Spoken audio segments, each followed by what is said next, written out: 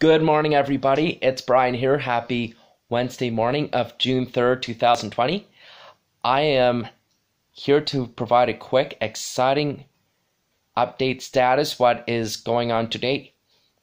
Today, I am going my way to get my haircut at the Viva Salon in Sherwood Park this morning at 9:15 in um, less than 4 hours from now. So I got to leave my house in 2 hours at 7:30 a.m. so I'm to have lots of time to get in the shower, wash my hands very well, and also get some plastic gloves before I get on the bus.